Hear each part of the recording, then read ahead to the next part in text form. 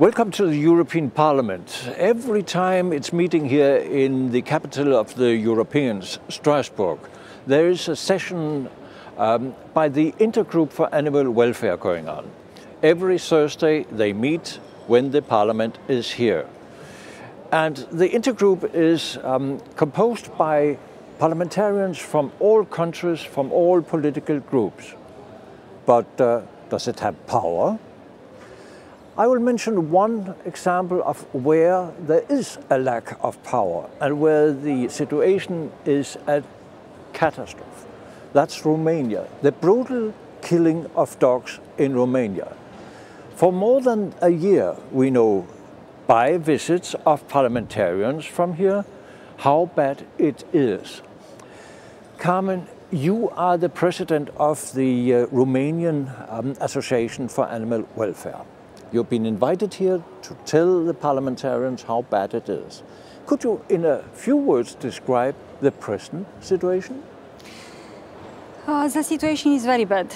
Actually, you cannot describe in uh, words. Um, you can see you have to see the situation. It's um, a cruel situation everywhere, in the street, during the catching and transporting the dogs, and in the public shelters of the city halls where the animals starve to death or uh, they uh, do not receive um, at least water. They don't receive anything, no medical care, uh, no observation from uh, any point of view. Uh, this situation, unfortunately, is uh, for a long time, for uh, about 20 years, and uh, most uh, gravely situation it's uh, since 2001 when the killing program has started. Even there are some um, provisions with that uh, state is that uh, we have to respect the animal rights and they are defined in the law very clear. Nothing is uh, respected actually. On the other hand, I would um, underline that um, there is a huge discrepancy between the situation from the public shelters of the city halls and the budgets allocated for uh, the management of uh, the stray dogs that are really huge. Uh, so uh, it is a difference between the reality uh, behind the fences of the shelters and uh, the uh, budget spent effectively by the municipalities for the stray dog management. I have learned that there are cities in Romania where there is no problem. How comes? Uh, there are only small cities where uh, there is not a problem, uh, and this is, is, an, is, a city where I've been told that the former Prime Minister of Romania, Emil uh, Boc, has um, the situation under control. Yeah, because uh, they uh, implemented uh, actually the only solution for uh, solving the stray dog problem, meaning neuter, vaccinate and return program we can give and adoption. Um, and uh, parallel with uh, education program, um, education program in schools. Uh, there are some places like Oradea, like Lugoj, like Cernavodă, like Sibiu, Cluj, um, where uh, the situation is much it's uh, much better because.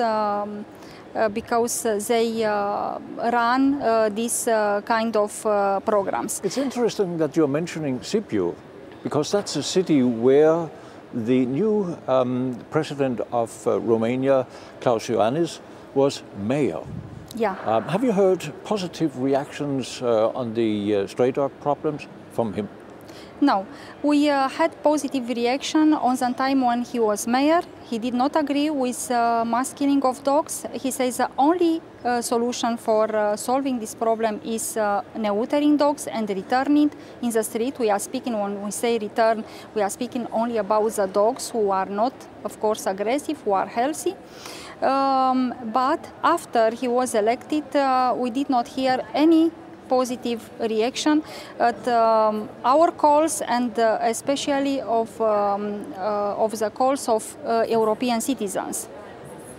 I've invited two more guests here. Marlene, could you please present yourself? Well, I'm Marlene Wartenberg. I'm working in the animal welfare field as a lawyer since 12 years, and I built up the European Policy Office of FOUR PAWS uh, seven years ago, and we focused completely on companion animals because it, it was not discussed on the European, European level before. You have a hard job in Romania. That's true. Yeah, I have been several times there. I just can underline what Carmen is saying. But how can you contribute to a solution? Well, my work was to work on the European uh, level as a lobbyist. That means to give suggestions and consultancy what the different EU institutions can do. Good. Since you're representing one of the largest um, NGOs on animal welfare, could you present yourself and the organization? Sure.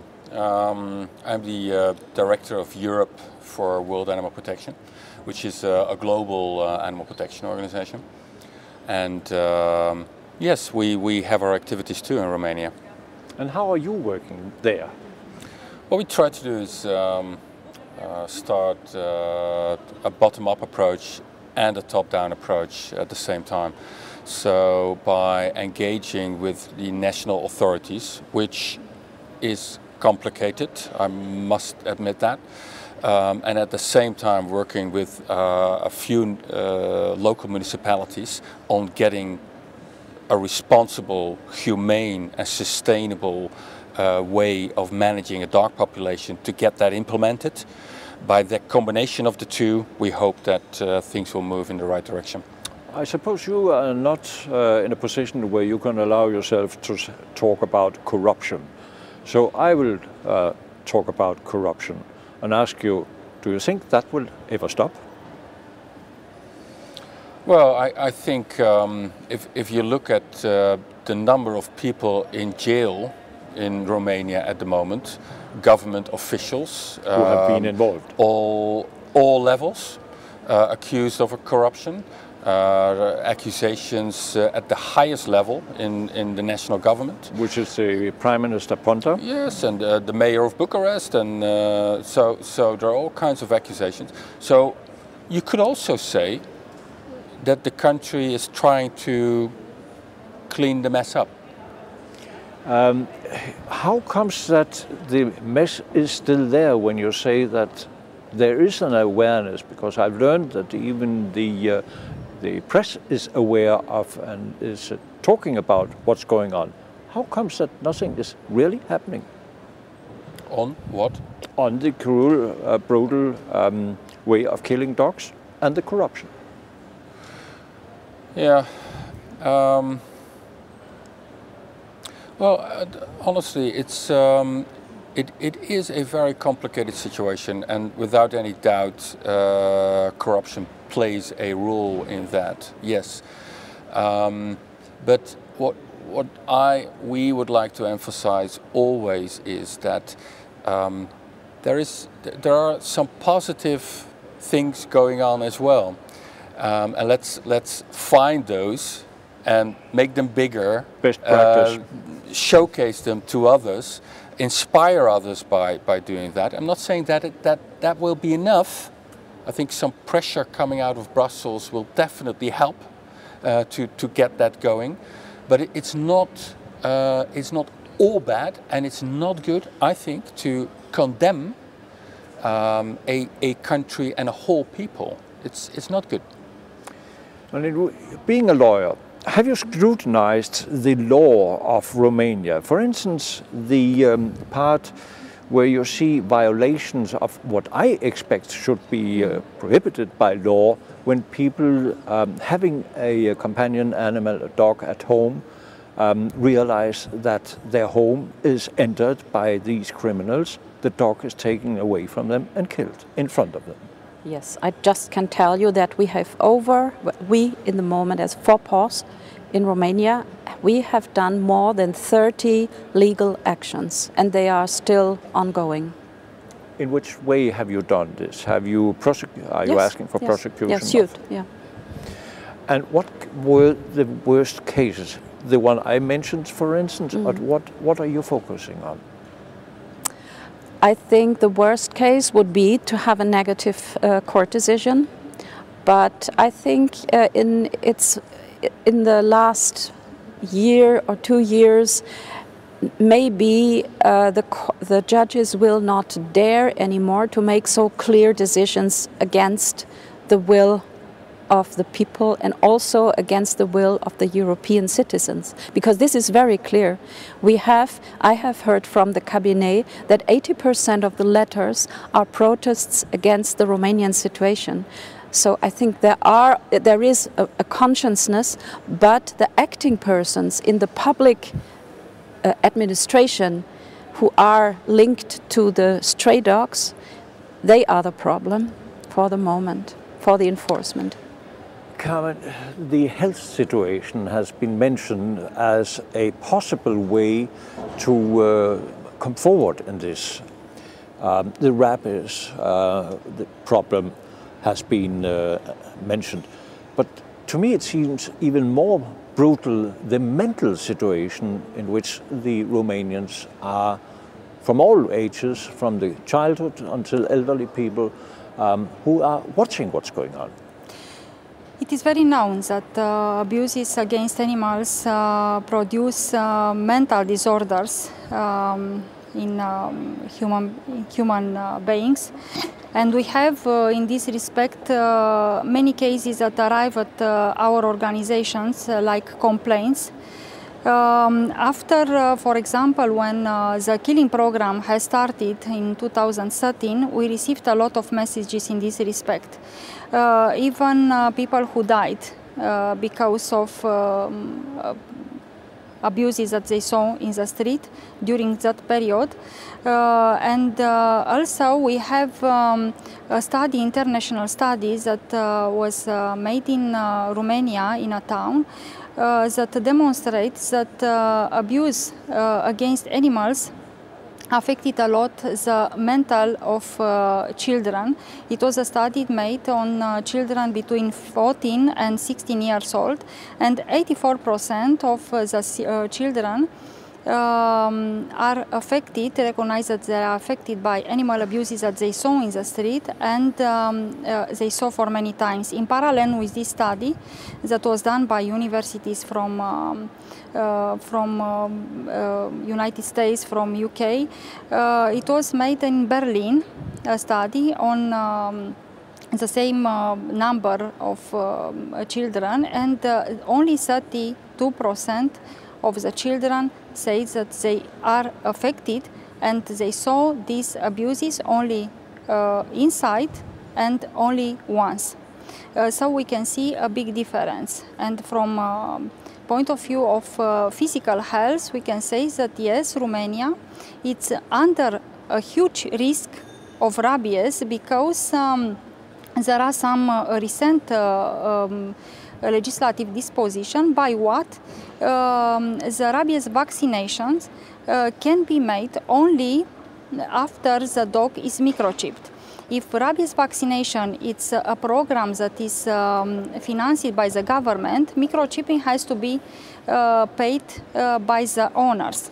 And we are speaking especially about rural areas where uh, uh, there are the most of dogs uh, with owners and where the people uh, do not have financial possibilities uh, to, to, to, pay, to chip. So um, according to the official answer that um, we received uh, at uh, our request, request from uh, National uh, Sanitary Veterinary Authority, um, only 1 million of dogs in Romania from um, uh, the own dogs from rural areas are vaccinated against rabies. That means uh, a little more than 20% of the dogs uh, with owners. So this is a very huge risk for public health. Ruud, in which way can an organization of that size of um, the uh, um, organization you are representing have an impact on what's going on in one country? Well, as, as I uh, mentioned before, um, we are promoting a, um, um, a top-down and a bottom-up approach. So we're working with municipalities to get DPM dog population management yes, implemented. reaching results. Is that at all well, possible? Well, it's it, there are results, and and uh, as as you you mentioned yourself before, there are. Uh, and it's a limited number, I know, but there are cities, there are villages where the situation is under control yeah, but can in you a good afford way. to to put pressure and put uh, that much attention to one country? Well, obviously, there, there are. Uh, if you look at the world and at the global map, and you you, you look at uh, animal welfare problems, and not only dogs, but but farm animals, uh, animals living Exactly. in the wild, wildlife, then yeah, there, there, there's a lot of work to do. But uh, what I'm up to is asking you actually, um, wouldn't it be for your organization more relevant to put pressure in Brussels on, for instance, the EU Commission? Yes, and that, that is what we're doing. Uh, we're also working with uh, an organization like the OIE, uh, where we are an, an official uh, observer. That's the, let's say, the World Health Organization for Animal Health. Um, and um, so uh, we, we have an observer status there, and we are working with them on that regional platform uh, to, to get the, the DPM rolled out in the Balkan countries as a top priority. So, so we are doing things at that level to get it done. It, it is not, not our strength, because I, I think that, that was what you, you were asking. It's not our strength to do a lot on the ground work in Romania itself. That is up to local NGOs to do that. But at that level, we can make a difference. Marlene, um, again, you're a lawyer. Um, in the neighbor country, Bulgaria, they are about to set up an, an animal uh, police court. Could anything like that be done in Romania? Yes, this is exactly what I was suggesting that suggesting what has to be done on the member state level because of course you can the EU level is one thing but it, uh, the, you need the political will of the member state. And if there is a political will you can do really amazing things as we see in Bulgaria that accessed on the same time. And uh, we have a very good uh, animal welfare law also here with our office. We have been uh, involved. We created uh, a, a systematic birth control program in bulgaria. We have now uh, uh, this wonderful uh, uh, enforcement tool of the animal welfare police because you know a law is a piece of paper but it has to be made alive that means you need the citizens to understand to be informed and then to follow and uh, I, am really very happy about this uh, step. And the, the other thing is, um, we have, for example, a best practice with the municipality of Sofia, and we have their um, neutering project, a clinic, uh, managed together with uh, really excellent results and can prove that if you do it systematically and you are informing the citizens and you have a good law and a good enforcement, it can work. Carmen, final question to you. Any hope? Yes, we have to hope. Otherwise, we cannot. Um, we do not have why to fight. Yes, we hope because actually uh, it's normal to go um, to make steps uh, into civilization uh, and uh, to find uh, higher steps, um, higher levels of morality. It's um, actually the normal way, yeah, and it's a correct one. Yeah, I think uh, in spite of all this, um, uh, Romania made some steps. Uh, even um, Romania, it is known um, to be uh, the, um, to be the country with the highest and the most abuses against animals. Actually, it make uh, it made some steps, at least theoretically, because we have um, a law, animal protection law, a good one, but unfortunately it is not respected. So the, uh, our problem is uh, actually at, uh, in the hand uh, of the um, authorities who are responsible with monitoring uh, and implement uh, the law, stray dog management uh, legislation and also animal protection law, uh, but they don't do it. They are completely inefficient, um, corrupted, and uh, they uh, prove that they are uh, they have uh, they are complice with uh, uh, with uh, those um, personnel of, of the city hall who manage the animal shelters. Carmen, I admire your work. Keep fighting.